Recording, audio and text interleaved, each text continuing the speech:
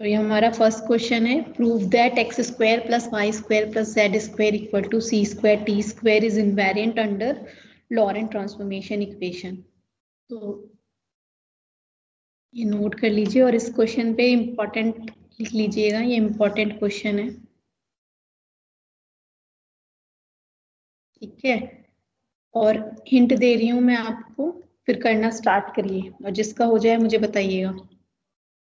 हमें क्या करना है? X square plus y square plus z square equal to c square t square को इन्वेरिएंट शो करना है अंडर लॉरेंट ट्रांसफॉर्मेशन इक्वेशन तो मैंने आपको बताया भी था जब इन्वेरिएंट शो करना होता है तो हम क्या करते हैं? एक फ्रेम से दूसरे फ्रेम में सेम बाई इक्वेशन लेकर आते हैं। अगर एस फ्रेम में इक्वेशन दिया है तो उससे एस डैश फ्रेम में आ जाते हैं और एस डैश में दिया है तो एस फ्रेम में आ जाते हैं। मतलब दोनों फ्रेम में जो इक्वेशन है, वो सेम होना चाहिए।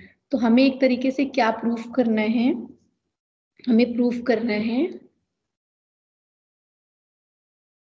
यश हमें प्रूफ करना है एक तरीके से। X square plus y square plus z square minus c square t square is equal to x dash square plus y dash square plus z dash square minus c square t dash square अगर मैं इस frame में हूँ, ये किस frame के लिए लिखा हुआ दिख रहा है? डैश नहीं है, यानी कि एस फ्रेम के लिए लिखा हुआ है। कि एस फ्रेम से मैं, ये देखो पूरा का पूरा डैश फ्रेम के लिए लिखा हुआ है, कि डैश फ्रेम में आ जाऊँ या डैश फ्रेम में इक्वेशन है, इससे मैं अनडैश फ्रेम में आ जाऊँ, है ना? या तो मैं लेफ़्ट हैंड से राइट हैंड में चली जाऊँ सॉल्व करते हुए लेफ़्ट हैंड साइड लेके चलूँ और राइट हैंड की इक्वेशन हमारी बन जाए। या राइट हैंड साइड की इक्वेशन लेके चलूँ लेफ़्ट हैंड की इक्वेशन सेम ऐसी इक्वेशन आ जाए। दोनों सेम है, सिर्फ़ डैश और अनडैश का फ़र्क है। इवन प्लस और माइनस का भी अंतर नहीं है। तो हम कह सकते हैं कि these equation are invariant under Lorentz transformation equation Lorentz transformation equation को यूज़ करते हुए। लेकिन जब मैं फ्रेम एस से एस डैश में चाहूँगी तो मुझे एक्स वाई जेड टी की वैल्यू चाहिए। मतलब मुझे इनवर्स लॉरेंज लगाना पड़ेगा। और जब मैं x dash y dash z dash t dash की वैल्यू आर में रखती हूँ तो ये होने की मुझे लॉरेंट ट्रांसफॉर्मेशन इक्वेशन यूज़ करना पड़ेगा और फिर मैं फ्रेम एस में वैल्यूज़ निकाल पाऊँगी। ठीक है तो ये आपके ऊपर है कि आप फ्रेम एस से एस डैश में कन्वर्ट कर रहे हैं कि एस डैश से एस फ्रेम में कन्वर्ट कर रहे हैं एल से आर में जा रहे हैं कि आर से एल में आ रहे हैं कि लॉरेंज यूज़ कर रहे हैं कि इनवर्स यूज़ कर रहे हैं। बट एक साइड लेके चलिए, दूसरा साइड लेके आइए। तो आप कह सकते हैं कि these equation are invariant under Lorentz transformation equation तो करना स्टार्ट करिए इस इक्वेशन को और बताइए क्या आंसर हो पा रहा है कि नहीं हो पा रहा है। चलिए तो देख लेते हैं। ठीक है लॉरेंट ट्रांसफॉर्मेशन इक्वेशन यूज़ किया।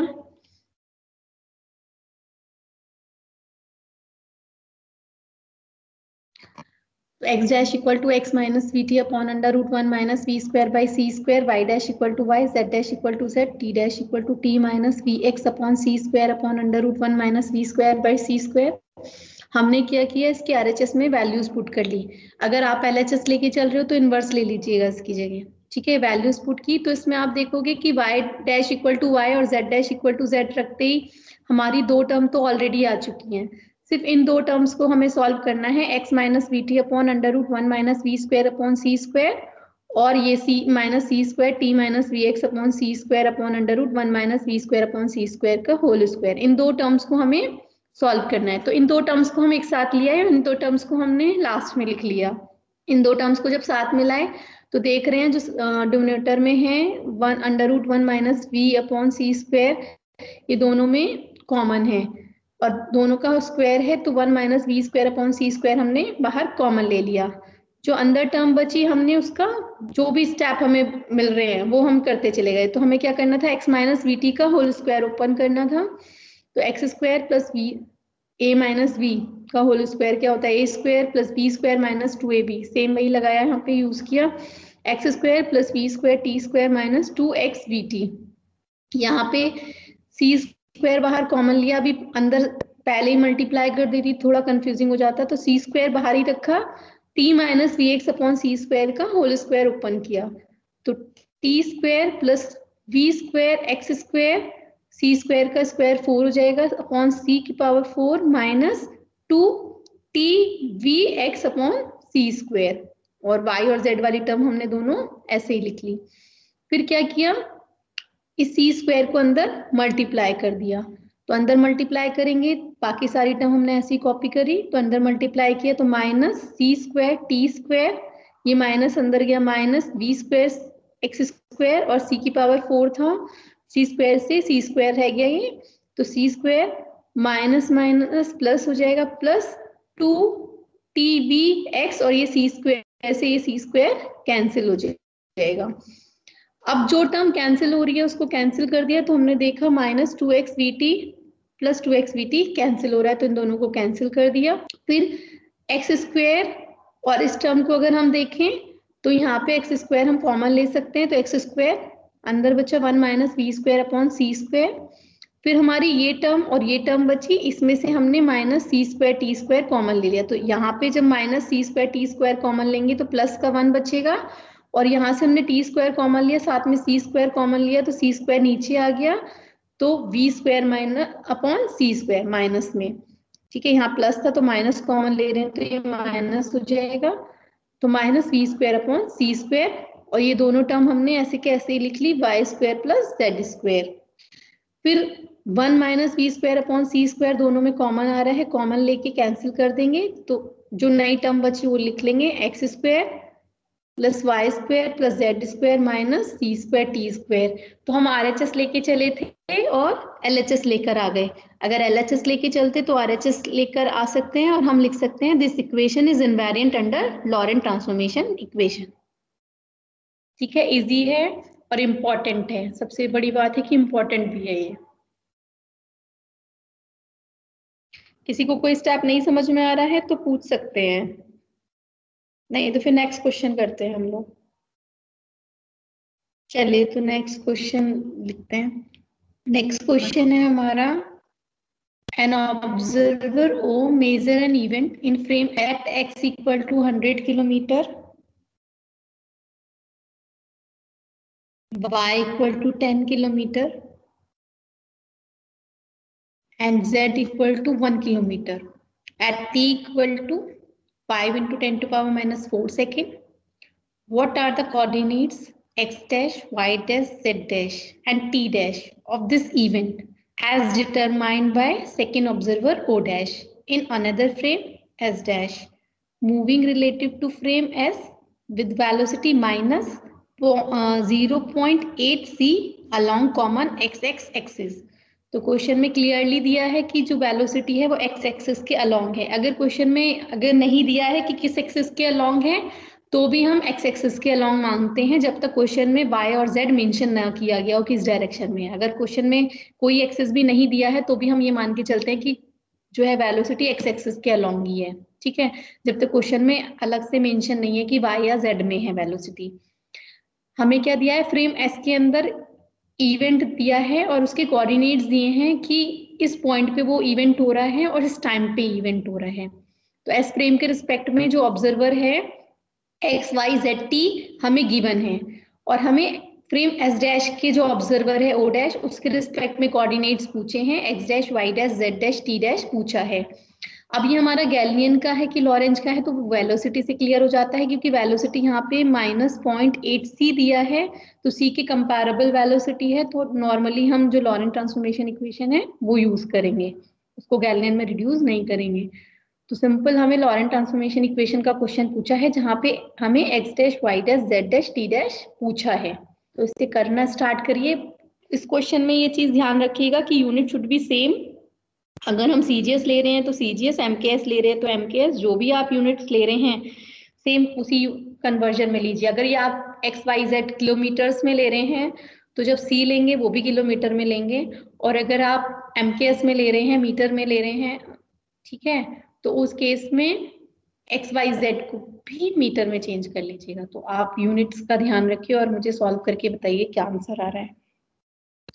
लॉरेंट ट्रांसफॉर्मेशन इक्वेशन में यहाँ लिख देती हूँ क्या होती है ma'am velocity minus zero point eight c है क्या?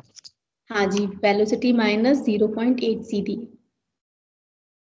माइनस का मतलब पॉजिटिव एक्सिस में ना मूव करके माइनस डायरेक्शन में मूव कर रही है। ठीक है तो वो तो वही की जगह हम माइनस पॉइंट एट सी रख देंगे। लेकिन हमें लॉरेंट ट्रांसफॉर्मेशन इक्वेशन पता होना चाहिए। X dash equal to x minus v t upon under root 1 minus v square upon c square, y dash equal to y, z dash equal to z, and t dash equal to t minus vx upon c square upon under root one minus v square upon c square. इससे आपको पता भी लग जाएगा कि देखिए ये numericals जो है ये तो अभी फिर भी सिंपल सा है कि बिना कैलकुलेटर के ये यूज़ नहीं हो पाएँगे है ना? तो कैलकुलेटर आपके पास होना चाहिए। अगर नहीं है तो मैथ वाले टीचर से आप डिस्कस कर लीजिएगा किस सीरीज़ तक का हम ले सकते हैं और फिर आप इसको बाय कर लीजिएगा। फ़िलहाल आप अगर लैपटॉप पे बैठे हैं तो लैपटॉप में कैलकुलेटर होता है साइंटिफिक कैलकुलेटर हमें साइंटिफिक कैलकुलेटर की ज़रूरत पड़ेगी आगे भी। तो उसमें कर सकते हैं सॉल्व तो एक्स डैश वाई तो वाई डैश तो हमारा क्लियर है। Y dash equal to y है तो वाई हमारा टेन किलोमीटर है तो टेन किलोमीटर और जेड डैश हमारा जेड है तो वन किलोमीटर। ये तो डायरेक्ट वैल्यूज़ हैं। हमें देखा जाए तो एक्स डैश की और टी डैश की वैल्यू कैलकुलेट करनी है।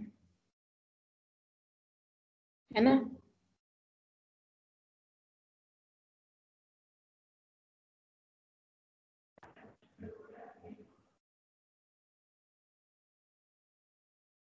एक्स की जगह हंड्रेड किलोमीटर हो जाएगा वी की जगह माइनस ज़ीरो पॉइंट एट और सी होता है हमारा three into ten to power eight metre per second तो अगर आप एक्स हंड्रेड किलोमीटर लिख रहे हैं तो फिर जो है सी हमारा three into ten to power five kilometre per second हो जाएगा। सॉल्व करके मुझे बताइए कितना आ रहा है।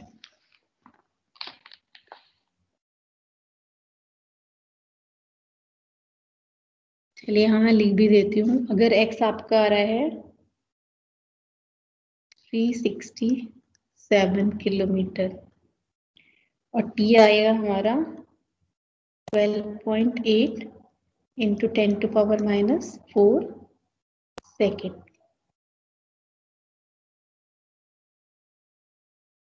देखिए, सामने मैंने सॉल्व कर रखा है। ठीक है? X की जगह हंड्रेड b की जगह minus point eight c three into ten to power five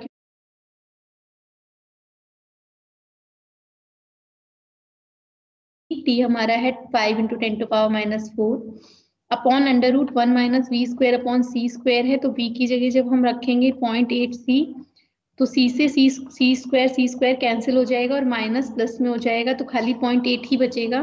तो under root one minus zero point eight का स्क्वायर और जब हम इसको सॉल्व करेंगे तो ये थ्री सिक्सटी सेवन किलोमीटर आएगा। ऐसे ही टी डैश टी की जगह five into ten to power minus four minus v की जगह माइनस पॉइंट एट यहाँ पर सी लिखते ये सी सी स्क्वायर से कैंसिल हो जाता तो नीचे एक सी बचता तो हमने लिख दिया three into ten to power five और एक्स की जगह hundred upon under root one minus zero point eight square इसकी वैल्यू एक बार कैलकुलेट कर लोगे तो देखो यहाँ पर भी सेम वही वैल्यू पुट करोगे। को सॉल्व करोगे तो ये आएगा 12.8 point eight into ten to power minus four second हो सकता है कुछ स्टूडेंट का आंसर ना आ रहा हो क्योंकि अभी कैलकुलेटर यूज़ करना उतने अच्छे से नहीं आ रहा होगा। तो वो जब आप यहाँ पर कैंपस में आएँगे तब देख लेंगे। आंसर नोट कर लीजिएगा लेकिन। और आ रहा है प्रैक्टिस मैम हाँ जी बताइए। मैम जैसे इसमें टाइम जो है उसकी यूनिट सेकेंड्स में दी गई है। है हाँ और जी। जो डिस, डिस्टेंस है उसकी यूनिट आपने एक किलोमीटर में दी गई तो ज़रूरी नहीं है हम उसको मीटर में चेंज करें। पर चाहे तो उसको हाँ उसको चाहे मीटर में चेंज कर लोगे। वहाँ पे मैंने इसलिए ज़रूरी नहीं समझा अ, अभी वो ये वाली स्लाइड चेंज कर दूँ मैं? हम्म हम्म। इस क्वेश्चन में अगर यहाँ पे देखोगे तो यहाँ पे मैं क्या कर रही हूँ उसको ये मैंने कर दिया एक तरीके से किलोमीटर पर सेकेंड है ना? और ये सेकेंड है। तो सेकेंड से सेकेंड कैंसिल हो गया। अगर मैं इसको आर में चेंज करती इसको आर में करती तो आर से आर वो वैल्यू जो है अच्छा वो कैंसिल हो जाता। है ना? वो कैंसिल हो जाता। है इसलिए मेरे को ज़रूरत नहीं लगी। अच्छा। लेकिन हाँ लेकिन इस केस में ज़रूरत नहीं पड़ी। लेकिन ऐसा हमेशा नहीं होगा है ना? तो ये चीज़ आप देख लेना। हाँ यूनिट यूनिट का आप ये चीज़ ध्यान रखना। यहाँ पे क्या था? मैंने इसलिए यहाँ पे लिखना भूल गई। मैं लिख लेना चाहिए था मुझे। हाँ जी बताइए। मैम ये अंडर रूट में तो मैम माइनस का ज़ीरो पॉइंट सिक्स आएगा सॉल्व करने के बाद। माइनस का ज़ीरो पॉइंट सिक्स कैसे आएगा बेटा? अब यही तो मैं कह रही हूँ तुम लोग ना बहुत ऐसी गलतियाँ करते हो कि कुछ कर ही नहीं सकते हैं। चलिए अंडर रूट की बात करते हैं। मैंने यहाँ वैसे शो शो भी कर रखा है। इसे प्रीवियस स्लाइड दिखा देती हूँ। यहाँ पे करके दिखा देती हूँ अंडर रूट की वैल्यू अंडर रूट क्या है? वन वी की जगह हमारा है minus zero point eight c वो फ़िलहाल सी लिख रही हूँ अपॉन सी का स्क्वायर ठीक है? यही तो है?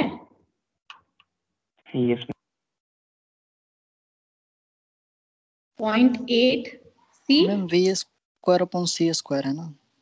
हाँ तो v square upon c square का मतलब क्या होता है? V अपॉन सी स्क्वायर को क्या मैं ये नहीं लिख सकती हूँ v अपॉन सी का होल स्क्वायर ओके मैम है ना? यस तो वही तो किया है मैंने यहाँ पे।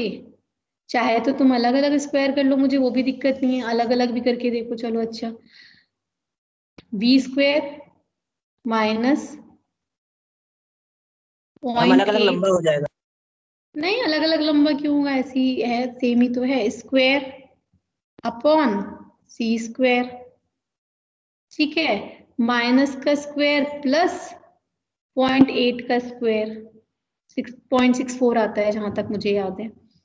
ठीक है? C square into c square c square से सी स्क्वायर कैंसिल हो गया। तो भी पॉइंट एट स्क्वायर लिया। अब यहाँ पे देखो अंडर रूट मैम कैलकुलेशन में गड़बड़ी हो गई थी। हाँ मैं तो आपसे कह रही हूँ कि यही गलती करोगे कि जो है कैलकुलेशन अब माइनस माइनस से प्लस हो जाएगा। तो ज़ीरो पॉइंट एट का स्क्वायर ठीक है, ये पॉइंट सिक्स फोर आएगा वन से माइनस करोगे पॉइंट थ्री सिक्स आएगा अंडर रूट लोगे तो पॉइंट सिक्स ऐसी कुछ वैल्यू आती है इसकी कर लीजिए फिर। Show from Lorentz transformation equation that two event simultaneous at different position x one and x two in frame reference frame S are not in general simultaneous in another reference frame तो हमारे को दो frame बोल रहा है कि एक frame S है, एक फ्रेम एस डैश है ऑब्वियस है, दूसरा फ्रेम हम एस डैश लेंगे फिर। कह रहा है कि टू इवेंट्स हो रहे हैं फ्रेम एस के अंदर। तो टू इवेंट्स हो रहे हैं तो मतलब हमारे पास दो टाइम है, लेकिन वो कह रहा है कि टू इवेंट साइमल्टेनियस है मतलब दोनों टाइम सेम टाइम पे हो रहे हैं। तो t one equal to t two question में गिवन कर रहा है, क्योंकि साइमल्टेनियस बोल रहा है। कह रहा है कि डिफरेंट पोजीशन पे हो रहे हैं, लेकिन एक अगर एक्स वन पोजिशन पे हो रहा है, दूसरा एक्स टू पोजिशन पे हो रहा है दोनों इक्वल नहीं है डिफरेंट पोजिशन है। अब कह रहा है कि वो दूसरे फ्रेम से साइमल्टेनियस नहीं है तो मतलब दूसरे फ्रेम से जो टाइम दिखेगा टी वन डैश और टी टू डैश दिखेगा पोजिशन एक्स वन डैश और एक्स टू डैश दिखेगी। तो साइमन क्या करेंगे हम? T one dash t two dash calculate करेंगे x one dash x two dash calculate करेंगे यूजिंग लॉरेंट ट्रांसफॉर्मेशन इक्वेशन और t two minus t one dash करेंगे। अगर t two dash minus t one dash equal to zero आता है तो मतलब दोनों टाइम सेम है। मतलब इस फ्रेम में भी टाइम सेम है और दूसरे फ्रेम से अगर हम देख रहे हैं उन दोनों इवेंट का टाइम तो सेम आ रहा है। और नॉट इक्वल टू ज़ीरो आ रहे हैं तो जो क्वेश्चन में स्टेटमेंट दे रहा है कि are not in general simultaneous in another reference frame तो मतलब साइमेंटेनियस नहीं है। और इसको एग्ज़ाम्पल के तौर पे ऐसे समझ सकते हो कि जैसे एक पोजीशन x1 है, एक पोजीशन x2 है, यहाँ पर हमने टू क्रैकर्स को फायर किया, दोनों को सेम टाइम पे किया। तो जो ऑब्जर्वर इसी फ्रेम के साथ था, उसको वो दोनों टाइम सेम दिख रहा था, क्योंकि लेकिन उसने क्रैकर्स दो अलग अलग पोजीशन पे रखे थे, लेकिन जो टाइम था दोनों को फायर करने का, वो दोनों का सेम था। लेकिन जो मूविंग ऑब्जर्वर है, उससे दूर जा रहा है, उसको दोनों जो क्रैकर्स हैं वो सेम पोजीशन पे दिख रहे हैं कि अलग अलग दिख रहे हैं, ये कैलकुलेट करना है। दूसरा, जो वो हो रहे हैं क्रैकर्स जब फायर हो रहे हैं तो उन दोनों की जो आवाज़ है, उसको क्या सेम टाइम पे सुनाई दे रही है? अभी मैंने इसको सुनने से लगा दिया पर ज़रूरी नहीं है, वो सुनने वाला इवेंट हो अभी क्योंकि सुनने से आप डॉपलर इफ़ेक्ट और वो सब दिमाग में घूमने लगता है बट ये समझाने के लिए था। वो इवेंट कुछ भी हो सकता है क्रैकर्स भी हो सकते हैं, कोई क्लॉक भी हो सकती है, कोई रेस भी हो सकती है, कोई भी इवेंट जो एक फ्रेम में हो रहा है और दूसरे फ्रेम से हम ऑब्ज़र्व कर रहे हैं। कोई भी इवेंट हो सकता है वो। तो उसे वो साइमल्टेनियस नहीं दिख रहा है। तो हमें ये कैलकुलेट करना है तो t two dash minus t one dash calculate करके देख लेंगे। अगर इक्वल टू ज़ीरो आ रहा है तो बोलेंगे साइमल्टेनियस है। नॉट इक्वल टू ज़ीरो आ रहा है तो साइमल्टेनियस नहीं है। ऐसे ही एक्स टू डैश पर एक्स वन डैश पोजिशन को भी देख लेंगे। माइनस की टर्म की इक्वल टू ज़ीरो है कि क्या है। तो इसको कैलकुलेट करिएगा और मुझे फिर कल